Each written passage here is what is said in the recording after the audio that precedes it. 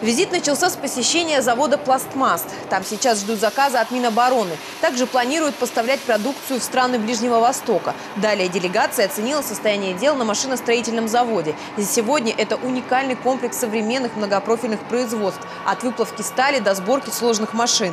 КМЗ – крупнейшее предприятие России по производству горной техники. Состояние завода оцениваю как абсолютно рабочее. Это видно как по загрузке площадей, как по тому, как тепло в цехах. Это очень хороший показатель. Далеко не все предприятия могут похвастаться э, таким состоянием дел.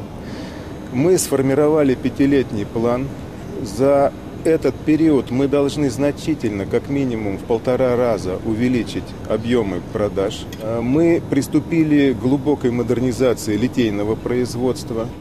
В этом году завод выпустит несколько новых машин для проведения промышленных испытаний на шахтах. Во втором квартале 2013 года планируется выпустить новые комбайны для угольной и солидобывающей промышленности.